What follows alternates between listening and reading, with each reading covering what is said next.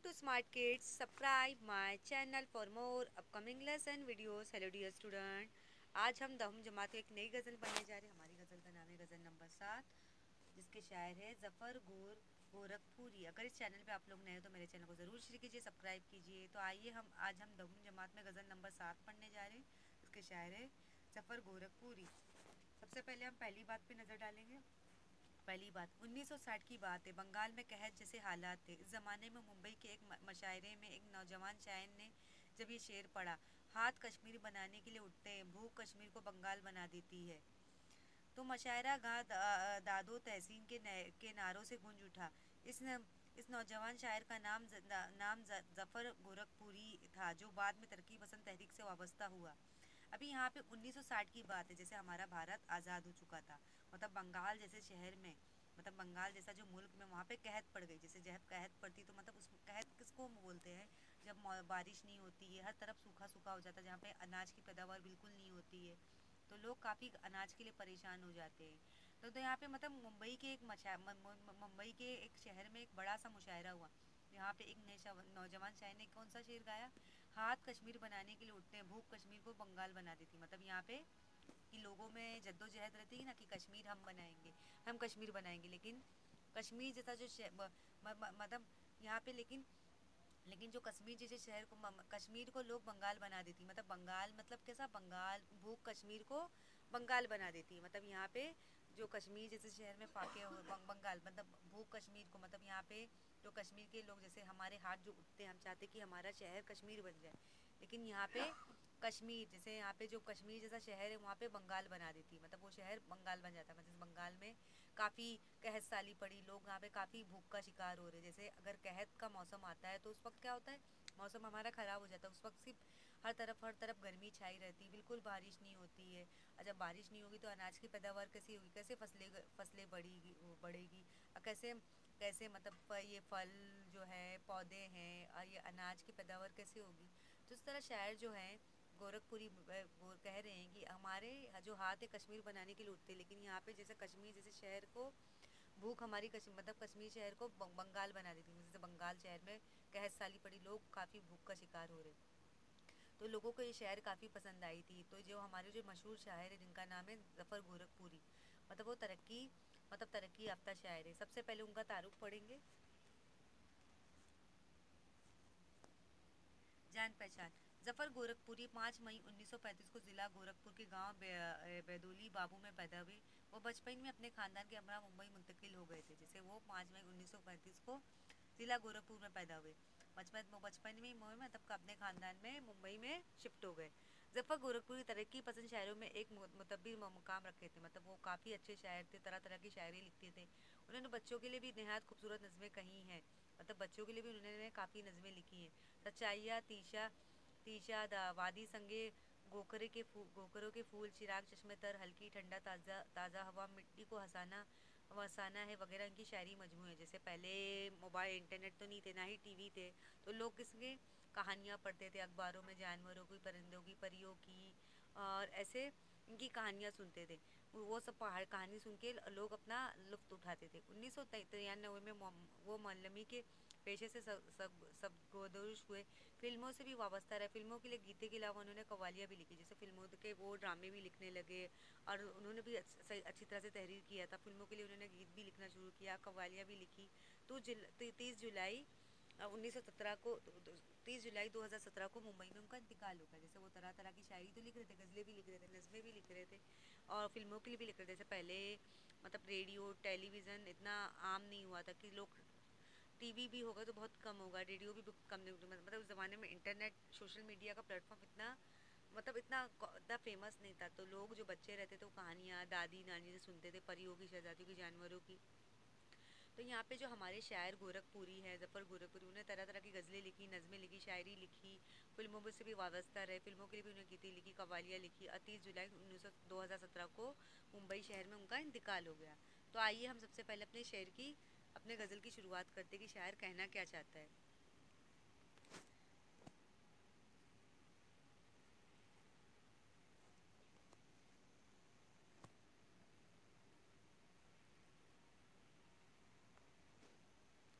बदन कुचला गया तो दिल की ताबानी से निकलूँगा।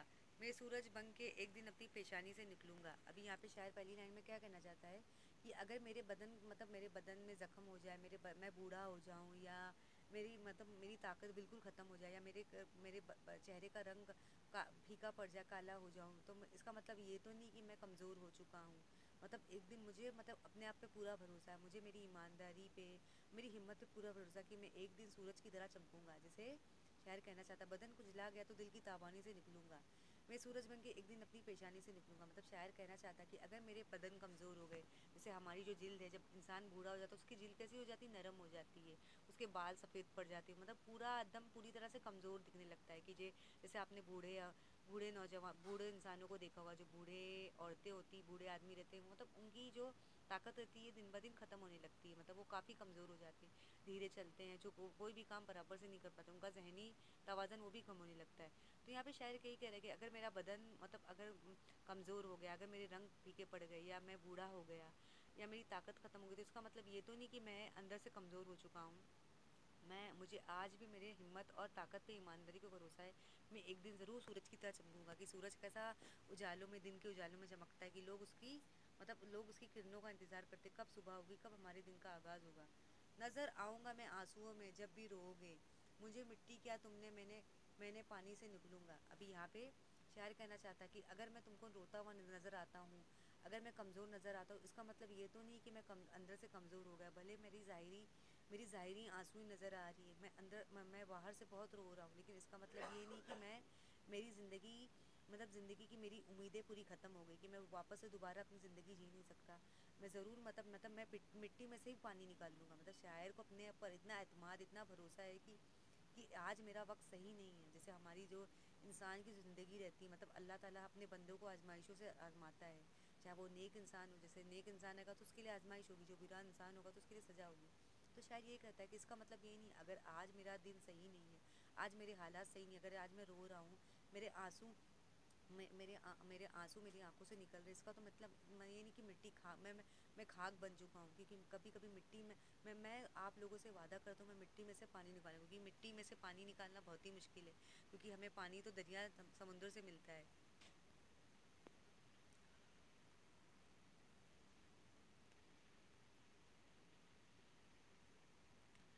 ऐसा खूबसूरत रंग हूँ दीवार दीवार दीवार का मैं ऐसा खूबसूरत रंग हूँ दीवार का अपनी अगर निकला तो घर वालों की नादानी से निकलूँगा।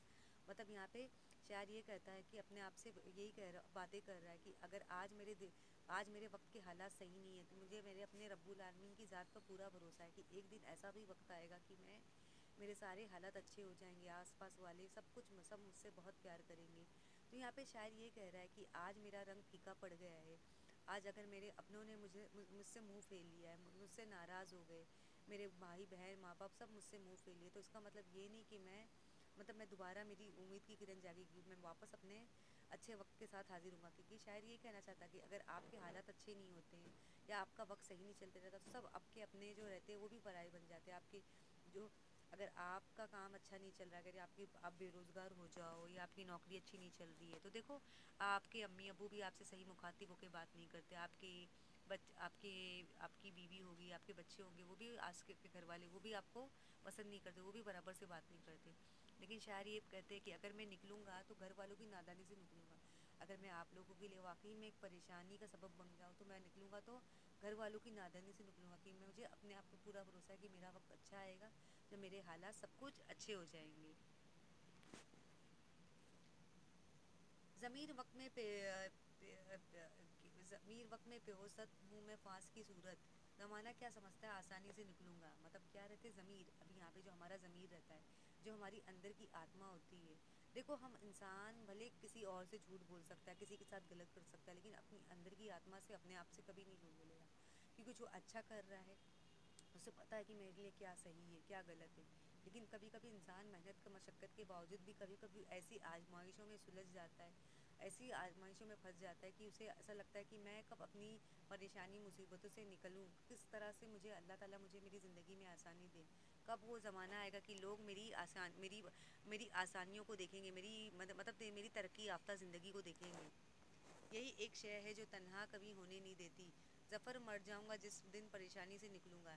यही एक शे जो तन्हा कभी होने नहीं देती। जफ़र मर जाऊँगा जिस दिन परेशानी से निकलूँगा। अभी शायर आखिरी लाइन में ये कहना चाहता है कि कि इंसान भले हम कैसे भी रहे, हम भले भी कितने भी बड़े अफसर बन जाए, पैसे वाले बन जाए तो कभी कभी इंसान की ज़िंदगी में ऐसे हालात हो जाते कि कभी कभी ऐसी हमारी हालत बन जाती ना, हमारी ऐसी कंडीशन बन जाती कि हमारे हमारे रहते ना कभी कभी जैसे हमारा कहीं काम सही नहीं चल रहा है या हमारी नौकरी चली गई, हम बेरोज़गार हो गए। तो देखो, आपके घर वाले भी आपसे सही से बात नहीं करते।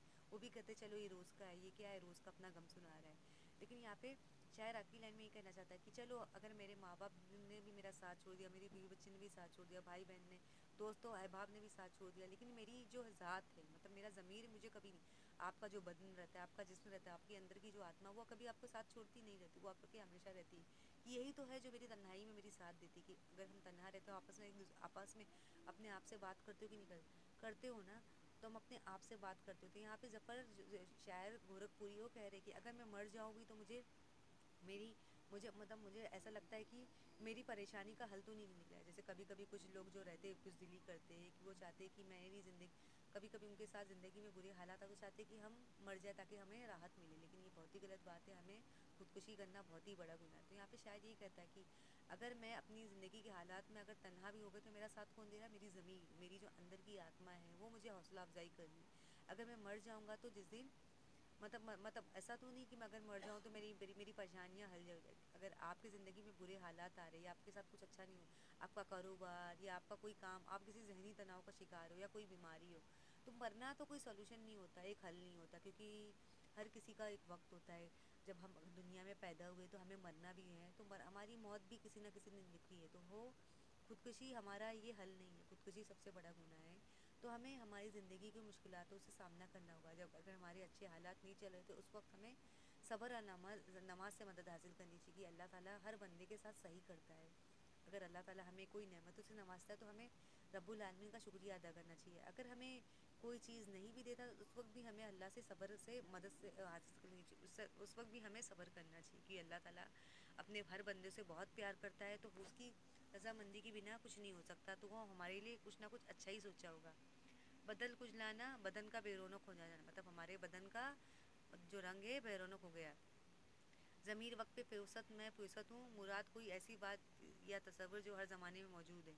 मतलब आजकल की जो दुनिया की वाह वाह है अगर कोई अमीर है या शक्ल सूरत का अच्छा है या पैसे वाला तो लोग हम हम उसको ज़्यादा तरजीह देते ज़्यादा हम उसको वैल्यू ज़्यादा उसे हम भाव देते कि अरे फला शख्स बहुत अमीर है बहुत पैसे वाला है। लेकिन हम जैसे गरीबों को बुरी हालात वाले को, को, को इंसानों को कोई नज़र नहीं डालता कोई उन पर तरस नहीं खाता। लेकिन जो रब्बुल आलमीन है कायनात का मालिक है वो हर मखलूक की फ़िक्र करता है।